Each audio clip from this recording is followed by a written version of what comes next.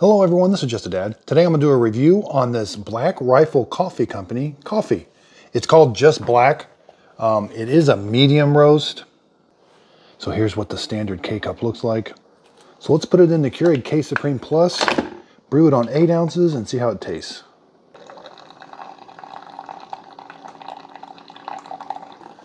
So it does smell really good while it's brewing. Yeah, it smells really good while it's brewing.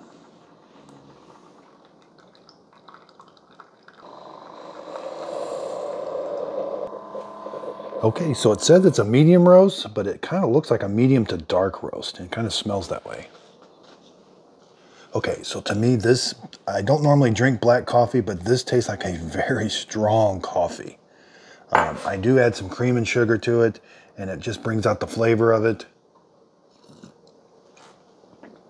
So if you like a rich, kind of dark coffee taste, now again, it says it's a medium roast, it doesn't have that dark roast flavor, but it's got like a dark roast, like a really uh, strong coffee taste.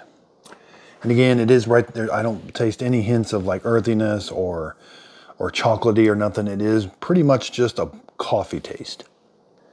Okay, so I cut open a K-Cup before I brewed anything in it. It's got two tablespoons of coffee. It is in a filter. There's what the coffee looks like. Again, it's definitely like a medium to dark roast color. So if you're looking more like for a standard cup of coffee that's kind of really strong as far as the taste of coffee, this is a very nice cup of coffee. I hope this video helps. Thanks everybody for watching.